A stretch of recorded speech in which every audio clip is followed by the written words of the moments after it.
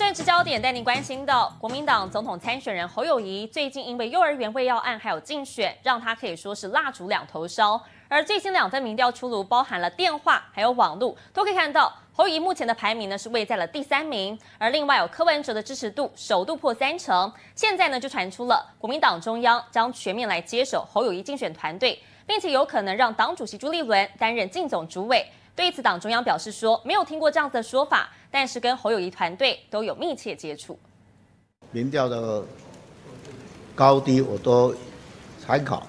也虚心的看待这些事情。面对民调，侯友谊谢谢指教，因为根据关键调查电话最新民调，赖清德支持度破三成，稳居第一。第二名是柯文哲，有百分之二十一点五，侯友谊位居第三，降到百分之十七点九。网络部分差距更大，赖清德支持度高达百分之三十七，柯文哲破三成，侯友谊是百分之二十一点八七，落后第二名柯文哲十个百分点。侯友谊不怕挑战。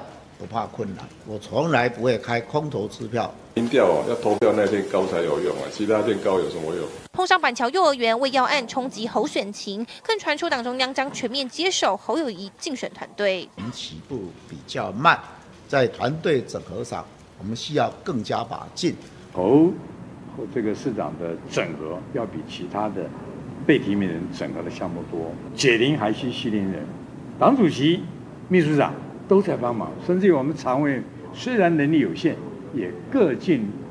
绵薄之力。毕竟侯办成员还是多局限在新北原本的幕僚团队，是否排位？党中央澄清双方早有密切沟通，也会定期开会。但侯友谊在党内整合似乎也不顺利，连党主席朱立伦都被点名担任竞总主委。目前没有听到这样子的资讯哦，但是我想朱主席作为总教练、选战总教练的角色，哦，一定会是侯友谊竞选团队最坚强的后盾。侯友谊支持度陷入危机，毕竟数字如果持续垫底，可能产生的破窗效应，国民党可承担不起。